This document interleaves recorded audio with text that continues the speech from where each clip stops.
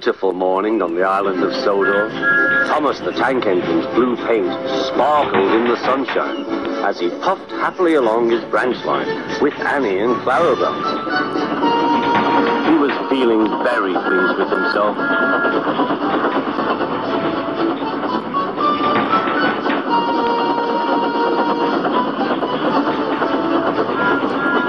Hello, Thomas, whistled Percy. You look splendid. Yes, indeed, boasted Thomas. Blue is the only proper colour for an engine.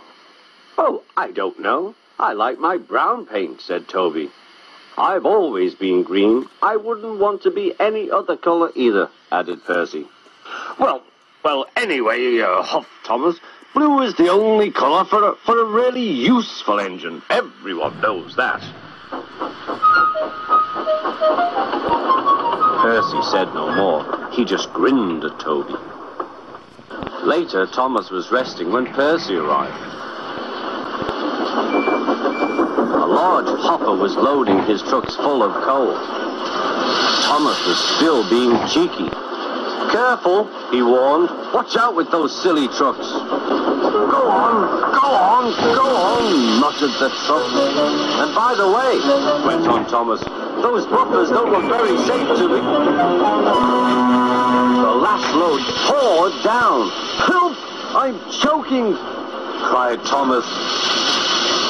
Get me out! Percy was worried, but he couldn't help laughing. Thomas's smart blue paint was covered in coal dust from smoke box to bunker.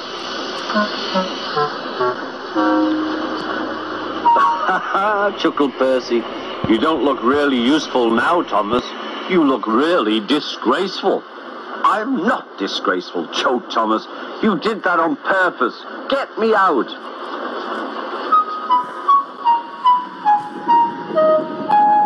It took so long to clean Thomas that he wasn't in time for his next train. Toby had to take Annie and Clarabel. Poor Thomas, whispered Annie to Clarabel. They were most upset.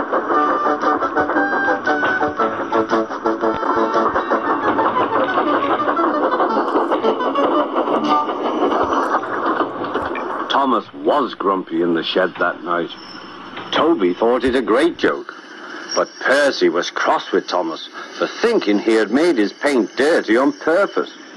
Fancy a really useful blue engine like Thomas becoming a disgrace to the Fat Controller's Railway. Next day, Thomas was feeling more cheerful as he watched Percy bring his trucks from the junction. The trucks were heavy and Percy was tired.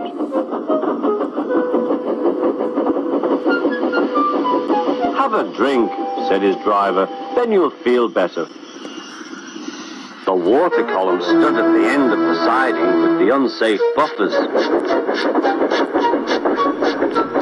Suddenly, Percy found that he couldn't stop. The buffers didn't stop him either. Oh, wailed Percy, help! The buffers were broken and Percy was wheel deep in coal. It was time for Thomas to leave. He had seen everything. Now Percy has learned his lesson too, he chuckled to himself.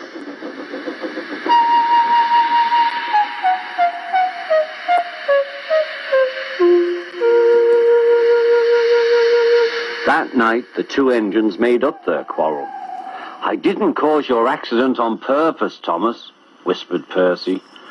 You do know that, don't you? Of course, replied Thomas, and I'm sorry I was cheeky. Your green paint looks splendid again, too.